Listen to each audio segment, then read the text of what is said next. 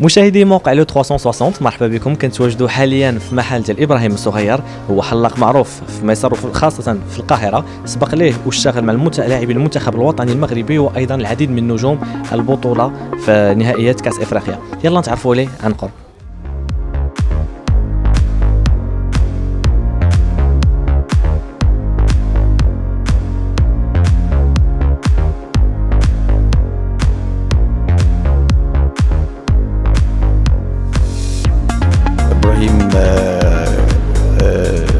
كوافير آه، لعيبة الكورة المصرية. لا عندي خبرة إن أنا أعرف أتعامل معاهم وبعرف آه، هما بيحتاجوا إيه.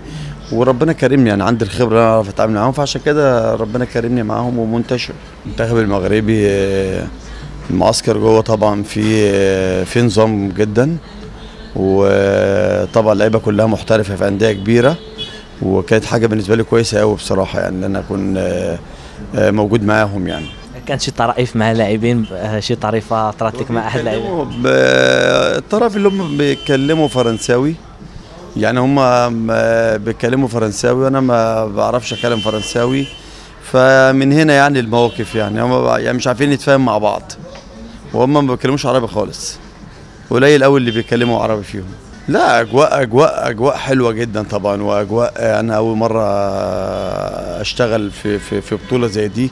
لا الاجواء كويسة وكل فرقة بتروحها بتلاقي بتلاقي حاجة يعني بتلاقي نظام غير يعني كل فرقة ليها نظامها و وكل اللعيبة برضو طبعا كل في هنا كل كل فريق ليه ليه لعيبة كبار. فطبعا آه، بالنسبة لنا متعة يعني. قبل قبل البطولة كان طبعا خالد أبو طيب على طول معايا وحميد أحداد وطبعا كنا مظبطين مع بعض يعني هو كده كده في لعيبة من المغرب بيجيبوا كوافير بتاعهم فقلت له لا قلت له لما يجوا هنا القاهرة نبقى نظبط ونروح لهم. أنا كنت يعني عايز أقابل زياش وبن عطية و... لا دي لعيبة كبار يعني كنت أحب إن أنا أشوفهم. والحمد لله يعني هم لما جم القاهرة كلموني و... ورحت معاهم آه، وعملنا مع بعض شغل كويس. آه، كتعرف الأندية المغربية ولا ولا ولا ما كتعرفش؟ آه. كتشجع شي نادي لا لا مغربي؟ عارف بتابع في الرجاء المغربي في الوداد في اتحاد طنجة في اللي إحنا, اللي إحنا خسرناه في بطولة أفريقيا. في كذا فرقة أنا متابعين الكرة المغربية كرة كبيرة يعني. لا هو بص ال- خالد أبو طيب هو اللي متكفل يعني بيتعامل معاه بالمصري. يعني أنا كنت عايز أحاسبهم باليورو بس خالد آه، قال لي آه، يعني أنا أتعامل مع خالد بحكم هو موجود هنا ومعاه فلوس مصري فبروح أنا وخالد هو اللي بيحاسبني فبحاسبهم بحسابي العادي يعني. لا أنا هرشح الاربع فرق في دور ال- الأربعة. ارشح المغرب طبعا مرشح الأول والجزائر ومصر. وبرشح معاهم السنغال. الأربع فرق دولت هم أعتقد البطولة مش هتخرج منهم يعني.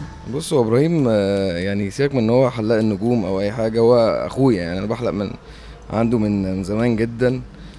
آه، مش هو بالنسبة لي مش مجرد حلاق هو أخويا فعلا يعني. آه، وإيده طبعا كويسة جدا. أنا مو استناه ممكن أستناه سنة لو هو مش موجود مش هحلق غير لما هو يجي. يعني أنا زي ما أنت شايف كده أنا قعدت بقالي سا- ساعة ونص قاعد لغاية ما جه هو و... لأن أنا مش هحلق في أي حتة غير عنده. هو المغرب وال... والجزائر والسنغال. والجزائر والسنغال أكترهم يعني. لا إبراهيم الصغير طبعا غني عن التعريف خبرة وروح وكويس جدا يعني. كفاية أنت بتيجي في مكان بيبقى جاي على الراحة النفسية ليه؟ ف...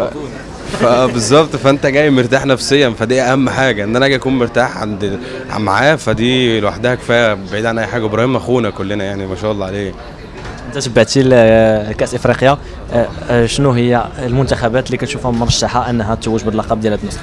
أكيد طبعا الجزائر السنغال المغرب يعني رابعا مصر بقى يعني عشان الوطنية.